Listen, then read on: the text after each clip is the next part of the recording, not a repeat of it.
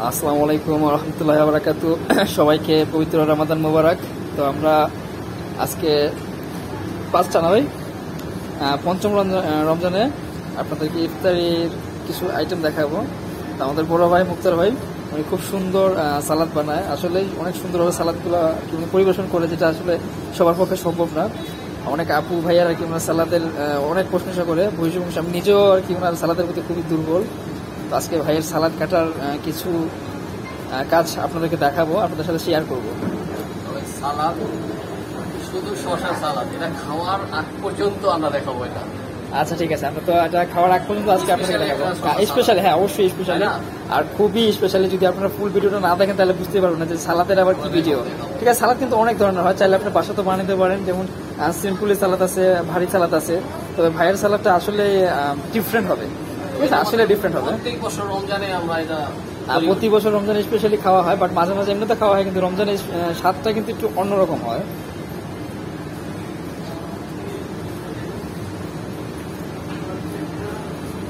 তো ভাই কিন্তু ফার্স্টে সালাদের শসাগুলো যে নিচ্ছে আমি আপনাদেরকে দেখাই দিই কাছ থেকে। এই দেখেন।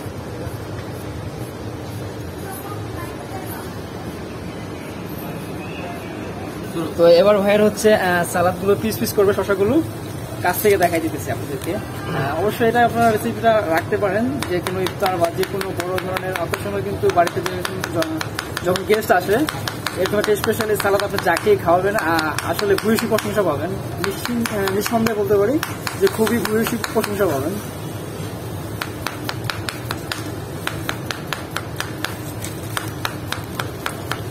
সবগুলো পিচ একদম সুন্দর ছোট ছোট করে কাটা হচ্ছে।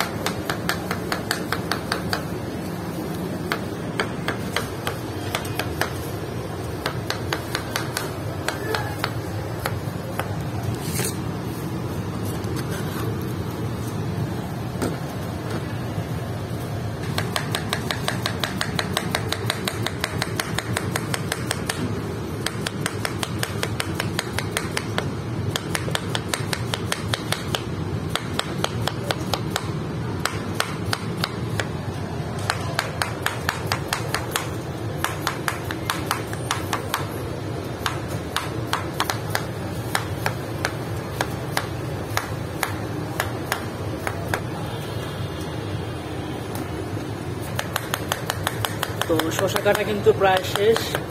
আমরা নেক্সট আপনাদেরকে অন্য অন্য যে আইটেমগুলো আছে ওগুলো দেখাই দিব। তো এটা হচ্ছে সল্ট এখানে শশার পরিমাণ হচ্ছে আপনার দেড় কেজি। দেড় কেজি না ভাই?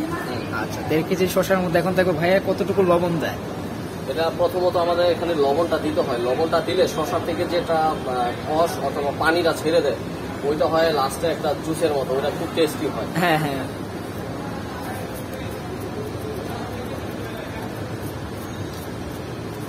যে এই পরিমাণ লবণটা আপনি ছিটে এটা মিক্স করে রেখে দিতে হবে। তাহলে আপনার পানিটা ছাড়বে রসটা ছাড়বে।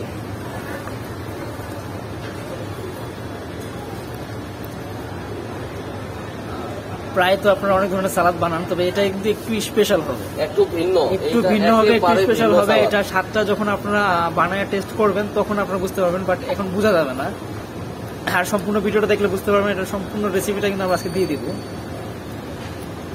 ভাই কিন্তু খুব ভালো করে একদম সবগুলো শসাতে লবণগুলো লাগাচ্ছে। হ্যাঁ দেখ সল্ট দেওয়া শেষ। সল্ট দেওয়া শেষ। দেখ এবার আমরা লেবু। রয়ে গেছে। রয়ে গেছে না? আচ্ছা ঠিক আছে। এতে আমরা এই লেবু দিয়ে থাকি। আপনি দেড় কেজি শসার ভিতরে অন্তত আপনার ছয়টা লেবু দিলে ভালো হবে। ছয়টা লেবু দিতে হবে। দেড় কেজি একটু- ছয়টা লেবু। আর একটু বড় সাইজ দিতে হবে ছয়টা লেবু দিলে। আর যদি রসালো লেবু হয় সেক্ষেত্রে আরও ভালো হবে। আপনার বাজার থেকে দেখে নিয়ে নেবেন কোন লেবুগুলো বেশি রসালো হয়।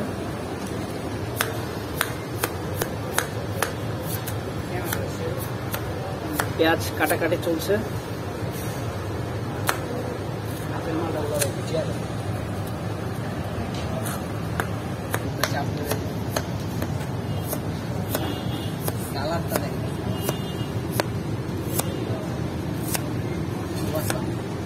মনে হচ্ছে মহাখালীতে ভর্তি হইতে হবে। দেখছে।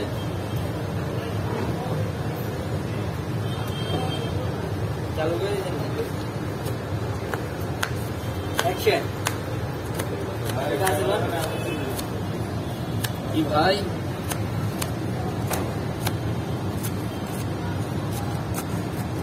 গাছ মানে ধন্যবাদ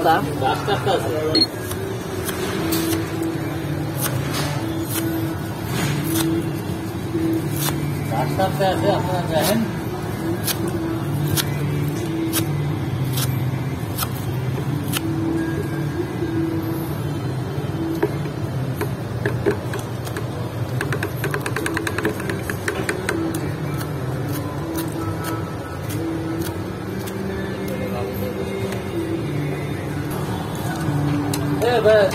ये आपका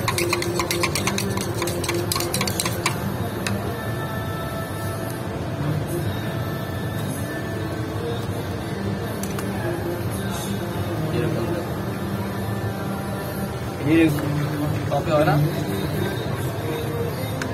বুড়ানো আছে দুইটা লেবু গাছ আপনাদেরকে একটা জিনিস দেখাবো যেটা হয়তো আপনারাও জানেন। যদি বাসায় স্টিলের বা কাঁচের গ্লাস থাকে তাহলে আপনার যেহেতু আমাদের গ্লাসে আমরা এই জগের ভিতরে নিচ্ছি আপনি লেবুটা এইভাবে কেটে এইভাবে ধরে যেভাবে চাপ দিলে আপনার রসগুলা সব ঝরে যায় খুব সহজে যদি স্টিলের গ্লাস থাকে তাহলে আরও সুবিধা হয়। এই যে রসগুলো একদম চলে গেল। একদম ইজি হয় সবার ভালোর জন্য। সহজ হবে। শেষ।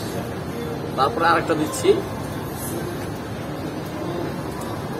তবে এটা কিন্তু শিখছি আমি আমার আম্মু থেকে। আমিও জানতাম লাগে।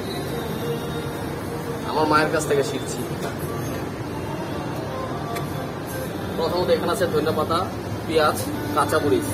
আমরা পেঁয়াজ পেঁয়াজটাকে লবণ দিয়ে ফিনিশিং দিব ধনে পাতাটা দিব লাস্টে মরিচটা ডলা দিব। আমরা সব কিছু দেখাবো আপনাদেরকে। তোমরা ইয়াতে দিয়া দাও চ্যানেলে যে আপনার এরকম বানাইতেছি জানি জামা দেবো জামা দেবো না ভাই কে? এই। মরিচ এখন দিচ্ছি ডলা পেঁয়াজ ছিল ধনে পাতা ছিল লাস্ট হয়েছে মরিচ তারপরে হলো ঢোলা না ভাই? আচ্ছা। ভাই সরষের তেল দিয়ে ডলবেন না? আচ্ছা সরষের তেল দিয়ে ডলা হয়েছে আর সালাতে এভাবে ঝাল করে দিয়ে দেওয়া হইতেছে।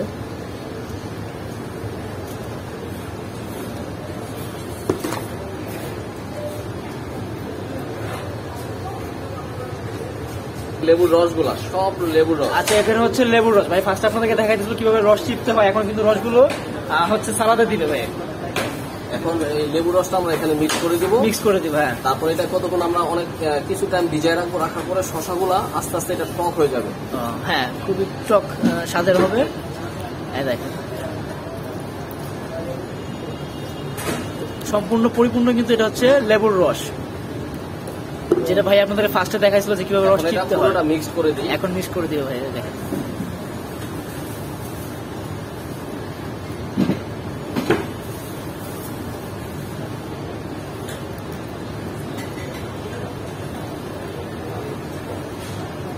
তো মুক্তার ভাইয়ের স্পেশাল সালাদ কিন্তু একদম রেডি চাইলে কিন্তু বাড়িতে করতে পারেন প্রিয়জনের জন্য। তো ভাই কিছু বলবেন আর?